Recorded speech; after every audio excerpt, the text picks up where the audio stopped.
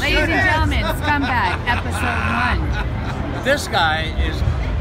I'm so, I'm sorry. I'm just going to tell it like it is. He's about one of the biggest assholes I ever saw. We met him, I don't know, 10, 12 years ago, and he was an asshole then. He's an asshole now.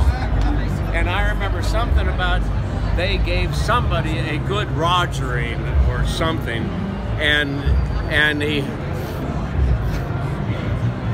skunk Manhattan, and he fits the part. He fits the name. I love you too, Dean. So, well, that's about all I can say about this dude.